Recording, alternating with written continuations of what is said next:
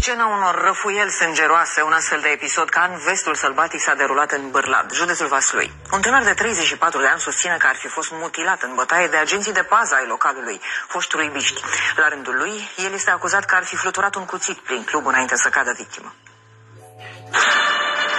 Sunt bătuți, morți, uitați ce ne-a făcut, ce pe m-a bătut cu cigal, degeaba fără să fac absolut nimic.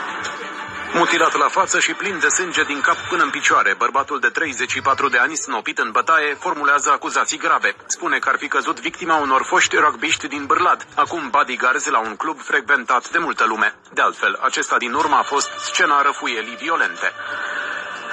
O să mă omoare. Mi s-a adresat niște cuvinte, ieși, ieși afară. E ok, am zis, ieși afară. Când am ieșit afară, deja eu eram prins de brațe de persoanele respective, în care mă mai aștepta încă două persoane. Și acolo am fost bătut timp de 20 de minute. Că noi nu le place de fața mea. Dar vă dați seama, eu am intrat cu pace acolo, nici bine nu am apucat să intru, domnișoară, și am fost bătut mort. Deci am fost scos afară. Straniu e că polițiștii susțin că au primit apel la 112 de la unul dintre agenții de pază, care ar fi spus că tânărul bătut ar fi intrat în club cu un cuțit în mână, pe care l-ar fi fluturat amenințător și, din acest motiv, ar fi fost imobilizat și scos afară. Agenții au găsit în local arma albă când au ajuns, dar și pe el în stare destul de gravă și au cerut imediat o ambulanță. Este vorba de o agresiune, un traumatism craniocerebral cu un hematom de coapsă dreaptă și o celulită de coapsă dreaptă. Nu a fost necesară intervenție chirurgicală, pacientul a fost externat.